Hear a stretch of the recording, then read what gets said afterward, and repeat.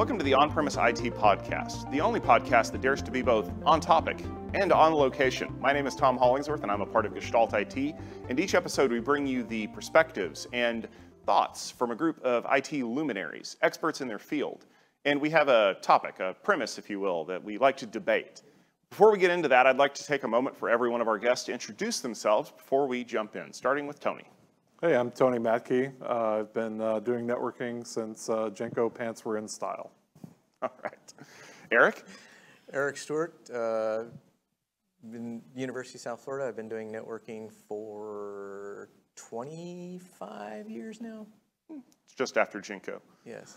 And Aaron. And I'm Aaron Conaway. I'm at A Conaway on Twitter. I've been also, we're all old. Oh my goodness. We've all been doing 20 years plus in networking.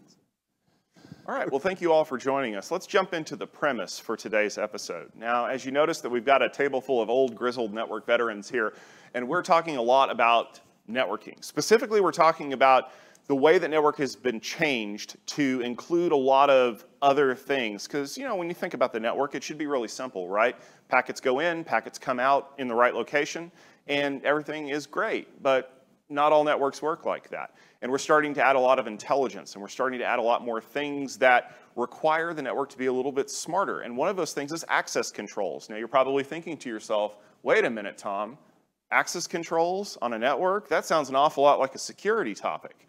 But that's kind of the way that networking is starting to cross-functionalize, is we're starting to see access controls being put into the network and we're having to deal with how that works.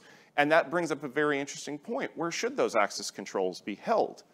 Because that's the premise of the episode. You shouldn't be doing network access control at the edge. And we're going to jump right into that topic because I know that all of you have some very interesting thoughts on that. But let's start with why have we historically been doing network access control at the edge of the network? I mean, isn't that about the worst place you can do it? Yeah, I'll go first here. Uh, it is the worst part, but it's way back in the day. Let's let's use our, our age to advantage here. We have some historic context where uh, this your switches and routers, all they did was send packets left and right as fast as they could. Mm-hmm. And the only way you could actually filter things was by sending it through a firewall. So you had to ship it out to an edge somewhere and then let that thing make a decision to let that packet go or not. So think we've kind of stuck with that. That's, you know, what, 30 years now probably. It's probably older than we are. So um, the question that I have there is, you know, you, you talked about the fact that networks were basically designed, even from their genesis, to be able to move packets as quickly back and forth as possible. So a lot of their intelligence, if you want to call that, was basically baked into the ASIC and the switch. I see the MAC address for this edge node on this port, and I'm going to forward the frame out of that port and that port only. There wasn't a whole lot of time for decision making. And when, even when we saw that with things like, you know, layer three switches, they weren't doing a lot of routing at that time because routing was an order of magnitude slower. And you know, we're talking like 100 megabit Ethernet. And today, the idea of running 100 meg Ethernet would make those people go crazy. But why did we have to route it through a firewall? Was there no way to do that intelligence in the switch? Well, there wasn't at the beginning. We didn't have that capability because, like you said, we've advanced so much. So we've gone from um, not even reading the entire frame, like reading just the headers to make it a switching decision, to now we're talking about sampling at five, what, 51 terabits per second, getting the whole frame, being able to read all the content. So we have a serious um, movement forward in the last few years of what we can see at an access port, not ship it out to something and let it read the whole thing, really slowly, by the way because it takes a long time to put that to CPU and read the whole thing. And so now we have that advantage of we don't have to ship it out. Now we can make decisions way down the stack if you picture your whole core distribution access, which we don't use anymore, by the way, but anyway, that's what we all picture our enterprise networks as. We can still, uh, way down here in access, we can make those decisions, and that's really huge advantage over shipping to an edge because now we don't have to worry about the rest of everything being functional even, right? Yeah, but then it hits another problem, right? Now we have singular points of management that you have to have consistent policy across, right? So unless you have some automation, then you're going to be manually updating ACLs on ports for the rest of your life. Sure, absolutely right. But I never had automation in the past. My automation was a notepad that I had over here that had like my basic switch config on it. And when I wanted to enable port security on an edge port, I just pasted that line in and then I hoped that nobody went behind me and, and modified it so that, oh, well, now you're allowing three MAC addresses per port instead of two. Well, oh, that's going to cause a, hu- a huge amount of problems in my environment. So are you saying that we can't do this kind of access control at scale without having some form of automation? I think you hit the nail on the head there. You're talking about scale. You know, that's fine when you have a network person at every location or, you know, even at every city, right? You know, you have a, a handful of IDFs or more to, to manage. But, you know, when you have one network team that has to manage uh, enterprise that may be across the US or even global, you know, you can't hire 4,000 network guys. There's very few businesses that can. So we have to have some way to be able to manage that. And it, it, it goes even beyond that. I mean, we're old. We know that the number of users on your network has increased since, you know, every year it goes up. Um, So you have the number of switch ports going up, the number of devices that are coming, and that, that's the big one for me is, you know, it's all BYOD, so I want to stop them from doing bad things as soon as, you know, they can be identified as doing a bad thing, so. That's a very unique challenge that a lot of people don't necessarily face. If you're a hospital, you have complete control over your endpoints because they're things that you have bought and you operate. But you may not have complete control over your ability to program them because they could all be IoT devices. Whereas in education and other places like that, sure, we'll just let you bring your Xbox and your PlayStation and your laptop with God knows what on it into my network. Let's just hope that you're not doing anything silly. But how do you manage that many edge switch ports with a policy? Because I don't know who's plugging into that switch port. It could be a student, but what if a faculty member or a hospital administrator plugs into that port? How can I make sure that who they are allows them access to the things that they're supposed to have? Is that a solvable problem at the edge, or do we need intelligence somewhere else to drive that? You do need some kind of intelligence. I think, uh, you know, we were discussing it in a side channel at some point that nobody's been able to get .1x working the way they would like to get .1x working. But .1x is supposedly the, the first step. Uh, my, at USF, we're using MacAuth for a lot of things, and that helps. Um, But if you could actually get .1x working, then it's a matter of figuring out where you think you need to employ .1x as opposed to just leaving the port open for use. I was gonna say, even in places where, you know, .1x is a lot easier, um, like wireless, right? You know, we're still using a lot of MAB lists, right? You know, like Mac authentication bypass, because there's no other way to, to manage those devices. So you actually bring up a really good point, Tony, that I was, I was going to say. The only people that have successfully been able to make .1x authentication work were wireless companies because they're not doing .1x. They are doing other forms of authentication that leverage .1x to work. And that's great if you have a device with a wireless card in it. But most people don't, especially even if you're dealing with things like IoT. They're headless. I can't configure them.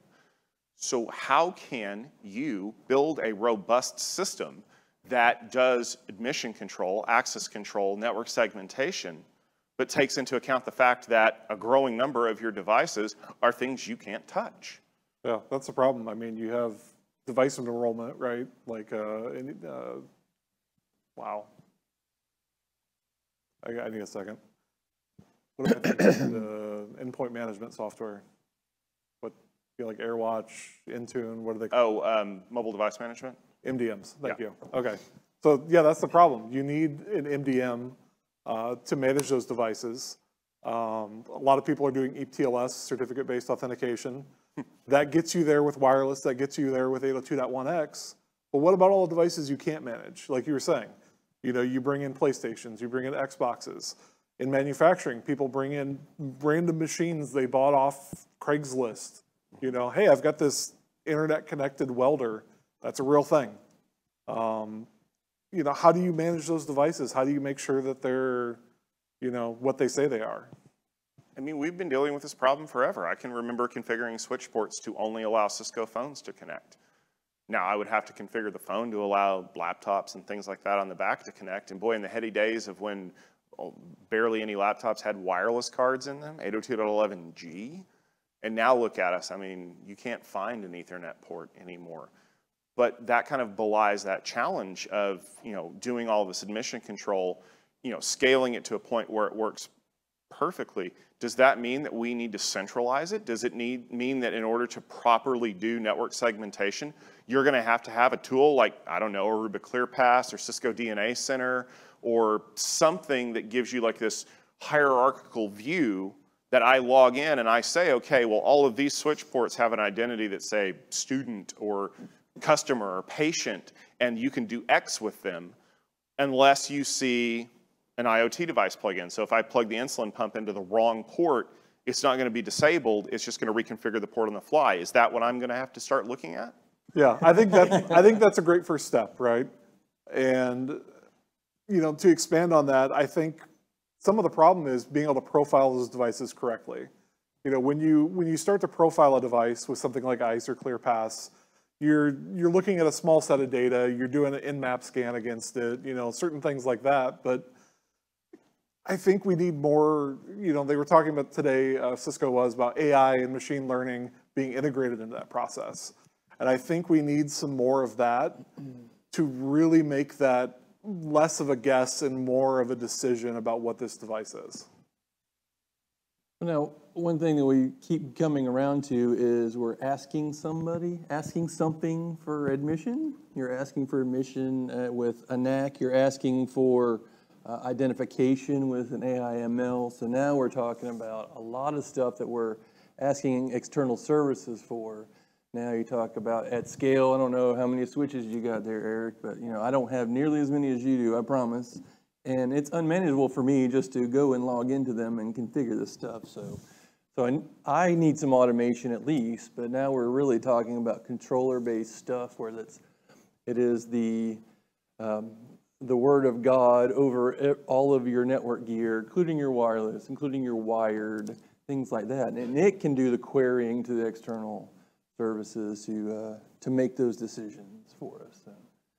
But the challenge there, we'll talk about this brown elephant over here in the room, is that I don't operate a brand new, perfectly pristine network where I just unboxed all of my devices and turned them up to run them. Oh, no. I know. Everyone keeps telling me, well, in a, in a perfect green field, this will work, just work. I'm like, when's the last time you saw a perfect green field? Mine looks like my front lawn in Oklahoma in July. It's brown and crusty and disgusting, but it's my lawn and it's my network and I have to deal with it. So can those two things coexist? Is there a way for me to program a centralized access control policy enforcement method and then distribute it to the hodgepodge of gear where I don't have a Cisco 9300 or a Juniper uh, 4400 running in every stack of every closet like I want. The arts department still has that old 3750 that may or may not be on death's door, but we're going to run it until it dies. Can I make those two things work together? So the first part of your question, I, I honestly don't know. You know, we've been trying to implement .1x on our wired environment for several years. I've, I've seen a lot of other people doing the same thing, running into the same issues. And when you talk to experts in the field, the answers you really get are about a greenfield environment. They, that's what they, they want to see, you know, that's what they want to, to work with. And it's just not the reality.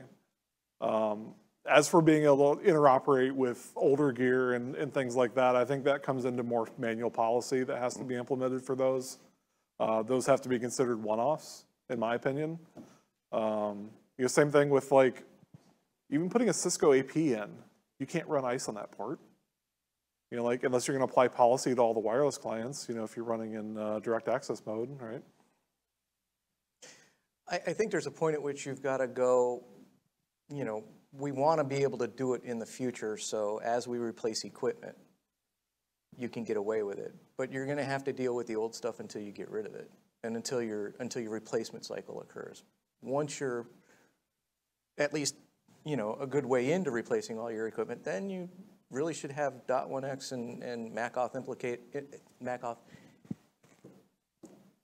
in place um, wherever you can, and, you know, deal with the one-offs when you have to. Is it acceptable to have, um, to wait for a full cycle? Because we all know our three to five-year cycles are seven to nine years, right? Yeah, So it's really going to be a decade almost while we wait for the last thing we bought that's not compatible to actually be compatible. I mean, that's a business decision, I imagine, uh, you know, it, it depends, right?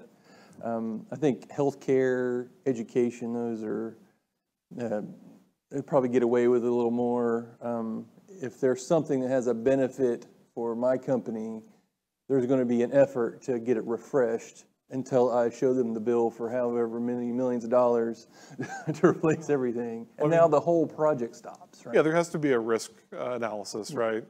You know, there's a cost to every decision you make, and there's a cost to every thing you decide not to implement, right? And that cost is, you know, how much risk is there, you know? Maybe that's part of the answer to this is we've been so focused on things like hardware that we've forgotten that we don't do hardware networking anymore. Everything is software. Hmm. With software-defined networking, intent-based networking, networking-based networking, whatever you want to call it. We've been changing the way that the network performs. We hinted at it at the beginning. You know, we're not just switching packets as fast as possible on the edge anymore. We're moving them around. We're doing a lot more things with them. We're doing operations on them. And typically, those kinds of software programs run a whole lot better at what we used to call the distribution layer, or maybe now it's the the lead, the spine nodes, or maybe the the switches in those environments are fast enough to shuttle them off to have a decision made and bring them back before they have to be distributed to wherever they're supposed to go. So could it be that the best argument for not doing policy enforcement and network segmentation at the edge is that it's better handled by a device that has more horsepower that can make better decisions. And all we're just hoping for is that the switches at the edge of my network forward the packet to a place where they can decide should it go on any further than this. Well, I mean, that is a, a valid model. That's what we're using now, and we'll probably still use it for a long, long time. Um, but there is a, another risk there is that the transit between the endpoint, like the Xbox that someone brought in, and the firewall that's doing the filtering, what are you going to do about that when that thing starts infecting every Xbox that's on your network? Mm-hmm. Right now, now suddenly you have 10,000 nodes that are infected with something instead of one that could have been prevented by filtering that at as far toward the edge as you can. So, I mean, so that's the risk there. But yes, we will have that for quite a while, I'm afraid. So what if the answer to this isn't related to hardware as we know it, or software as we know it? What if it's a revolution in the way that we do data processing? Data processing units.